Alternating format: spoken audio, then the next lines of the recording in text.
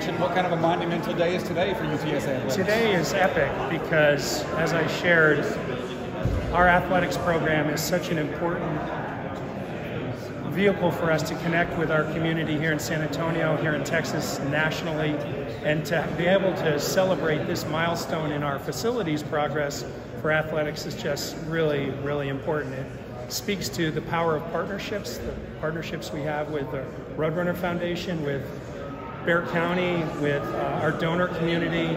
Uh, the fact that we were able to pull this project off and get it built is really, really important, and it's one of many things in our milestones of things that have to happen from a facilities perspective as we grow our athletics enterprise.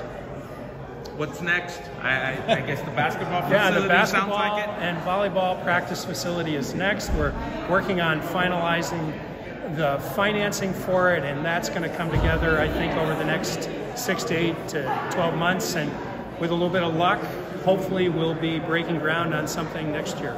Awesome. I uh, heard uh, Mr. Dawson kind of teased the Bexar County about some investment there. Is there something in the works there? Yeah, we've been in conversations with the county for a while now about their co-investing in this facility with uh, all the other sources of funding we're going to have for it. And uh, so we're in discussions about it, but we're working to be very creative about how we're going to bring that project forward.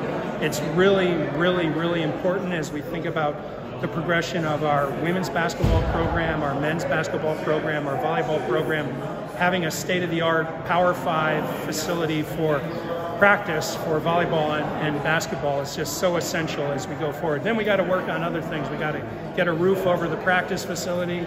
We got to uh, get a, a, a, place to play basketball and volleyball. All of these things are on my to-do list. Thank you, Mr. President. Yeah. Thank you, sir. Thank you, everybody.